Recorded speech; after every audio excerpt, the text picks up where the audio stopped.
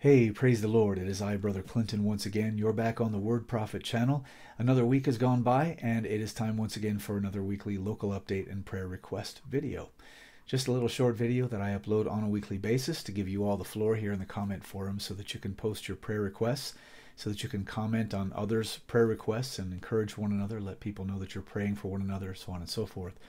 And also, if there's anything going on in your particular area that you feel is important for the rest of us to know about, please do post it in a comment here. Let us know exactly what's going on and, of course, what city you're in, and that will be greatly appreciated. That way, we don't have to depend on the news for our information, if you know what I mean. Wink, wink. So, praise the Lord. May God bless those of you who love our Lord Jesus Christ in sincerity. This is Brother Clinton. I'm out for now. Peace.